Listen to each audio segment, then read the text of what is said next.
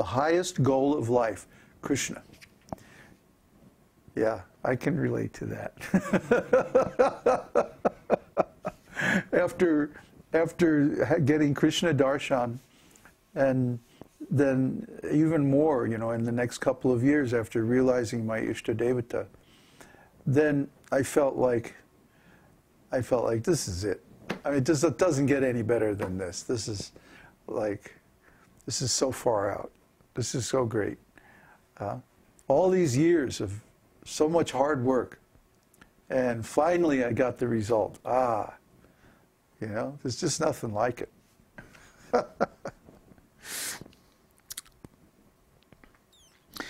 anyway, the next one is doubt. After Lord Brahma had stolen all of the calves, cows, and cowherd boys from Krishna, he was trying to get away. But all of a sudden he became doubtful about his stealing and began to watch on all sides with his eight eyes. Lord Brahma has four heads, and therefore he has eight eyes. This is an instance of ecstatic love in doubt caused by stealing. Is Krishna watching? Can Krishna see me? Is he going to follow me? Is he going to punish me? Yeah. Similarly, just to please Krishna, Akrura stole the Shamantaka mani, a stone which can produce unlimited quantities of gold. But later on, he repented his stealing. This is another instance of ecstatic love for Krishna in doubt, caused by stealing. When the king of heaven, Indra, was causing torrents of rain to fall on the land of Braja, he was advised to surrender himself at the lotus feet of Krishna. At that time, Indra's face became very dark because of doubt. Like, oh, oh did I screw up? Again, right? Apprehension. When a person becomes disturbed in his heart by seeing lightning in the sky, by seeing a ferocious animal, or by hearing a tumultuous sound, his state of mind is called apprehensive. In such a state of apprehension, one tries to take shelter of something which promotes safety. There may be standing of the hairs on the body, trembling of the body, and sometimes committing mistakes. And sometimes the body may become stunned. In the Padyavali, there is the following statement My dear friend, Krishna's residence in the demoniac circle at Mathura, under the supremacy of the king's, uh, king of demons, Kamsa, is causing me much worry. This is one instance of apprehending some danger to Krishna in ecstatic love for him. It's because actually Vrindavan was considered part of the kingdom of Kamsa at that time. Uh, so technically, uh, Nanda Maharaj and all the residents of Vrindavan were his subjects. But Krishna was like, yeah, just send, send some more demons. Come on. You know, I'll take care of them. And he did. He killed all the demons that Kamsa sent to Vrindavan to uh, disturb him there. In the, oops, that's another one. When uh, Vrishasura appeared in Vrindavan as a bull, all of the gopis became very greatly affected with fear. Being perturbed in that way, they began to embrace the tamal trees. This is an instance of fear caused by a ferocious animal, and of the search for shelter while remembering Krishna in ecstatic love. Upon hearing the jackals crying in the forest of Vrindavan, Mother Yashoda sometimes became very fearful about keeping Krishna under her vigilance, fearing that Krishna might be attacked by them. This is an instance of ecstatic love for Krishna in fear caused by a tumultuous sound. This kind of fear is a little different from being actually afraid. When one is afraid of something, he can still think of past and future. But when there is this kind of ecstatic apprehension, there is no scope for such thinking. That's almost closer to panic. Yeah? Because if a person loses the, the idea of past and future, that means their mind is very disturbed. Yeah? Fear is more like hmm, you know, thinking about what, what they're calling fear here is more like thinking about what might happen oh, maybe in the future such and such will happen, cause me problems. But this apprehension is like, there's danger right now. And so the person becomes focused on the moment. They don't think of past and future. Intense emotion.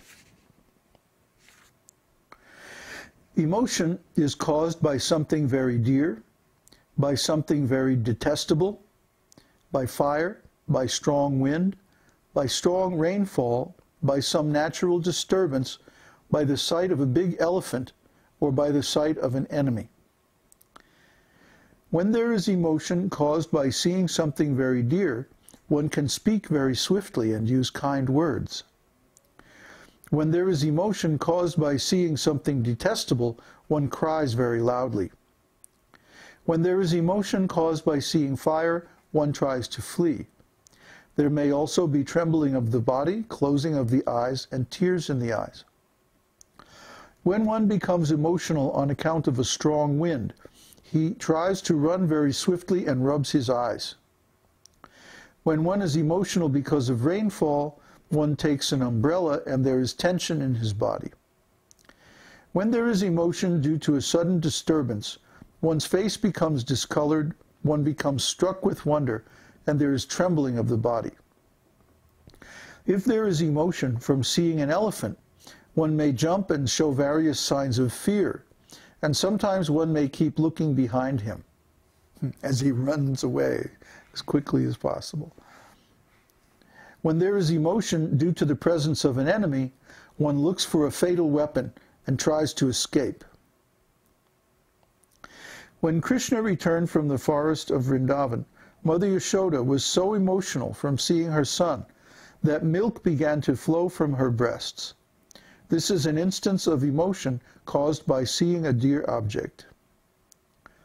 In the 10th canto, 23rd chapter, verse 18 of Srimad Bhagavatam, Shukadev Goswami informs King Parikshit, My dear king, the wives of the Brahmanas were usually very much attached to the glorification of Krishna, and they were always anxious to get an opportunity to see him.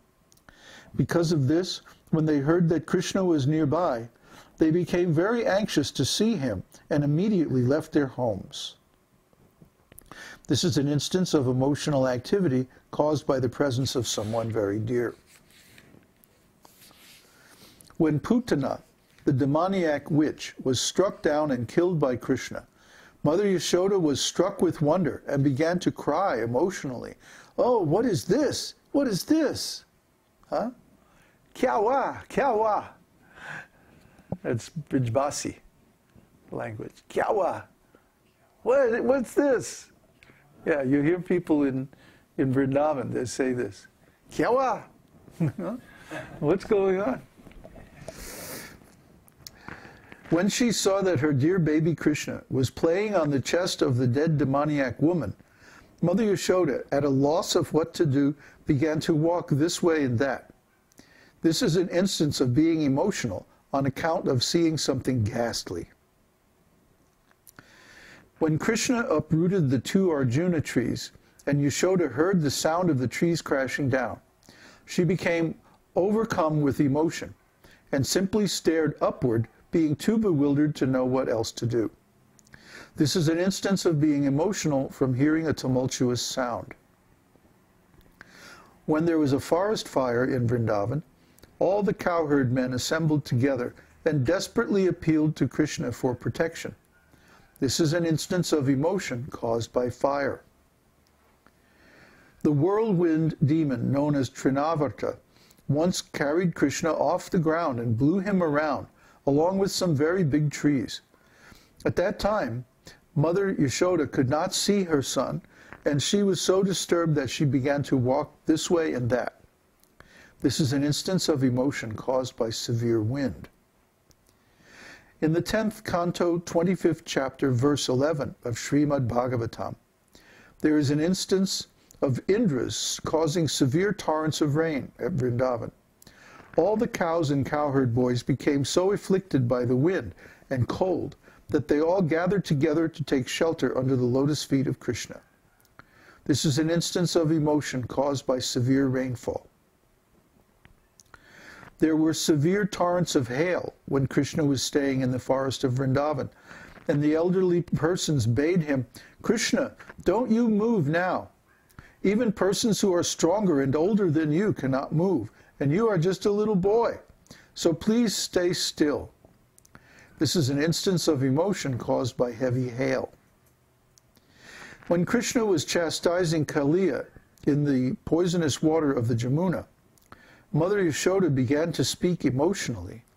Oh, see how the earth appears to be trembling. There appears to be an earth tremor, and in the sky tears are flying here and there.